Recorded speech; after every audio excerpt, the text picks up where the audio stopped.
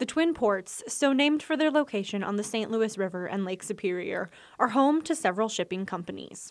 We always talk about hey, whatever is good for Superior Duluth is good for the port. Now, more than $8 million in federal grants is coming to Superior to support a rehabilitation project for the C. Reiss Shipping Company. They will be expanding their capabilities of of being able to to handle material um, railwise. C. Reiss is currently based in Duluth, but with this grant, will be moving to a dock location in Superior they own that's been unused for 30 years.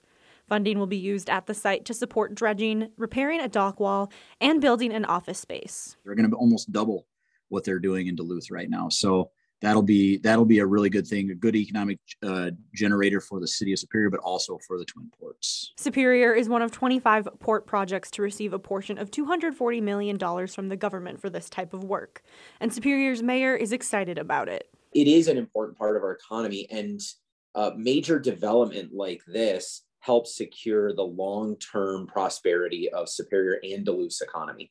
A makeover for a piece of the ports that might be very old, but remains as important as ever. We are a port city, and while that has changed in a lot of ways over the last century, uh, the port is still vital to Superior and the country's economy.